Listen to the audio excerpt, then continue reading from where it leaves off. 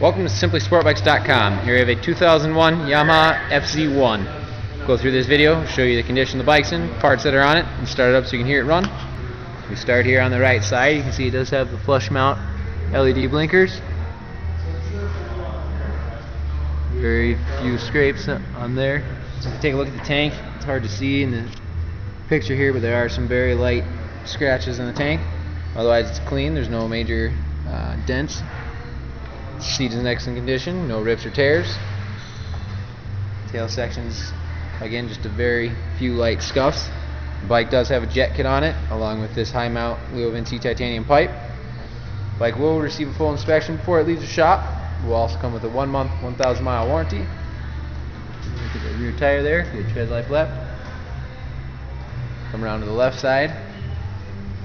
Again, no major scratches. Tank on this side is clean as well. You do have a little rash right there. And there, again, you've got your other LED blinker. Go ahead and start it up so you can hear it run.